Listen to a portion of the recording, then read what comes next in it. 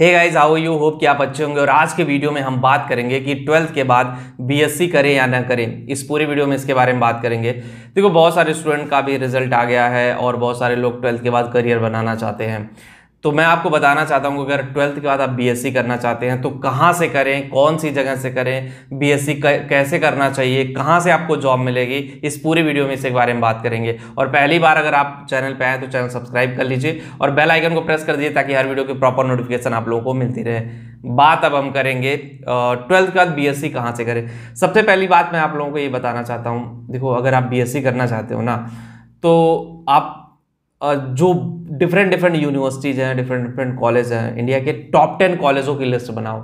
जैसे top ten कॉलेजों का अगर हम नाम बता दें, जिसमें बी एच यू है, दिल्ली यूनिवर्सिटी है, और भी कई सारी यूनिवर्सिटी हैं, जहाँ से आप बीएससी करके अच्छा खासा पैकेज ले सकते हो अच्छा सा खासा करियर बना सकते हो। मैं आपको एक सरप्राइज़ बात बता दूँ B S C I T B S C computer science से करके लोग बीस बीस लाख की पैकेज ले रहे हैं तीस तीस लाख की पैकेज ले रहे हैं। और ये कोई ऐसी चीज़ नहीं गूगल जैसी कंपनियाँ माइक्रोसॉफ्ट जैसी कंपनियों में भी लोग जॉब के लिए जा रहे हैं बीएससी करने के बाद।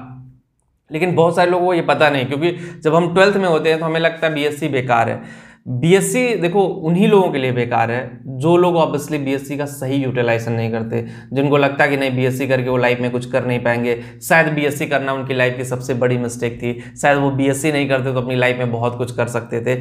बीएससी आप एक अच्छे जगह से करो। ऐसा नहीं कि जहाँ पे ना लैब है, ना जहाँ पे टीचर अच्छे नहीं है, जहाँ पे प्रैक्टिकल नॉलेज नहीं मिल रही, जहाँ पे स्किल ओरिएंटेड पढ़ाई नहीं हो रही। देखो बीएससी अगर आप स्किल ओरिएंटेड करोगे ना, मैं बता दूँ बीएससी करके लोग डिजिटल मार्केटिंग फ़ील्ड में जा रहे हैं वेब डेवलपमेंट में जा रहे हैं डेटा एनालिस्ट बन रहे हैं अकाउंटिंग फ़ील्ड में जा रहे हैं, उसका देख, ये प्राइवेट इंडस्ट्री की मैं बात कर रहा हूँ। गवर्नमेंट में तो आप जा ही सकते हो हर फ़ील्ड में फॉर्म भरने के लिए, जितने भी गवर्नमेंट फॉर्म है, चाहे वो बैंक पी हो, चाहे वो आई हो चाहे वो पीसीएस हो एस एस हो बहुत सारे एग्ज़ाम हैं जो बीएससी के बाद आप देख सकते हो। तो बीएससी को आप लोग छोटा मत समझिए।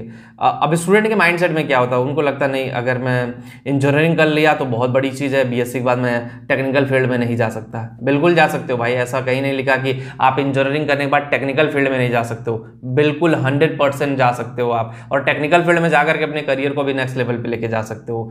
ये मैं नहीं कह रहा हूँ, ये हकीकत है। और इंजीनियरिंग की इस हकीकत को आपको जानना चाहिए। अगर आप नहीं जानोगे तो कहीं ना कहीं आपको लगेगा, अरे यार, मैं क्या कर रहा हूँ? तो अगर आप ट्वेल्थ किए हैं बीएससी करना चाहते हैं तो सबसे पहले मैंने बताया टॉप टेन कॉलेजों की लिस्ट ढूंढिए और टॉप टेन कॉलेजों की लिस्ट में एडमिशन लेने के लिए सोचिए।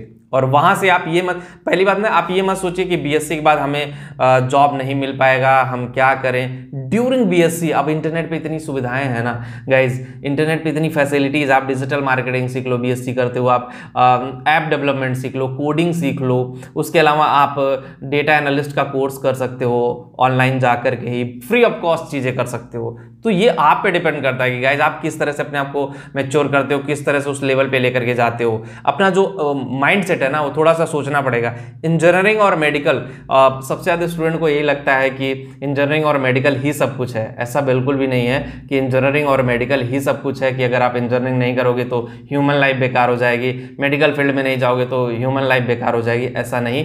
आप बीएससी करके भी बहुत पैसे अर्न कर सकते हो। और बीएससी करके भी आप अपनी खुद की कंपनी चला सकते हो खुद खुद के बिज़नेस स्टार्ट कर सकते हो। बहुत सारे ऑप्शन है। ऐसा नहीं है कि सिर्फ़ यही करियर ऑप्शन है।